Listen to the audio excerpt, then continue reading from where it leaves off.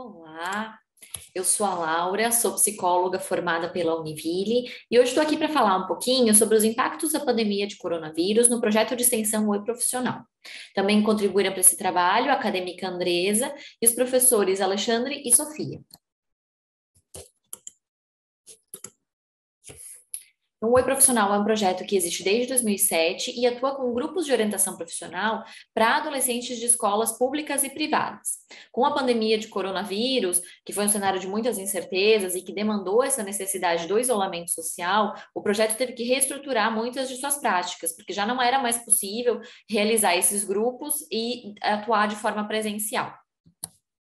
A metodologia desse trabalho é relato de experiências, nosso intuito é descrever uma experiência de forma a contribuir é, de, num contexto relevante para outras práticas, é, por meio de uma discussão, de uma troca, de uma proposição de ideias. Então, transmitir esse conhecimento com um aporte científico.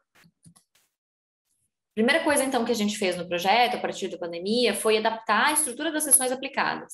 É, inicialmente, a gente atuou com atendimentos individuais virtualizados, que até então era uma demanda pouco, pouco frequente no projeto, e depois a gente passou para esses atendimentos virtualizados em grupo, que até então a gente não tinha feito, e que a gente estava em dúvida se ia funcionar ou não, e que depois se revelou uma experiência bastante exitosa, porque na verdade a gente verificou é, resultados muito semelhantes aos grupos realizados de forma presencial. As supervisões também que aconteciam semanalmente na Univille, né, essas reuniões entre os estudantes voluntários e bolsistas e os professores orientadores, também passaram é, a ocorrer de forma virtualizada a partir da plataforma Microsoft Teams, que é utilizada pela universidade. E aí, em 2020, a gente investiu muito nas redes sociais, então trazendo temas e reflexões relacionados à escolha, para fomentar, de uma certa maneira, nesse nosso público, essa reflexão para maturidade para a escolha profissional. Então, a gente trazia alguns temas como autoconhecimento, independência, responsabilidade, determinação e informação profissional.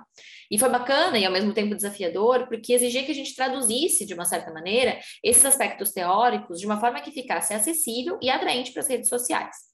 E agora, então, em 2021, a gente está tendo a retomada de algumas atividades presenciais, e isso exige que a gente se adapte aos protocolos de biossegurança de cada uma das instituições atendidas. Então, lembrando sempre do uso de máscara, do álcool em gel, e também adaptar essas atividades de forma que os materiais a serem entregues sejam individuais e não ocorra esse compartilhamento dos materiais e também promover, né, esse garantir mesmo esse distanciamento social, então organizar a sala de uma forma que garanta isso. Então, como nossas considerações finais, a gente percebeu que a manutenção dos encontros online garante o acesso a adolescentes de outras cidades. É, esses tempos a gente teve um grupo que foi é, solicitado por uma instituição de outra cidade e não teria sido possível realizar se não fosse justamente pelo online, não teria como por essa questão do deslocamento.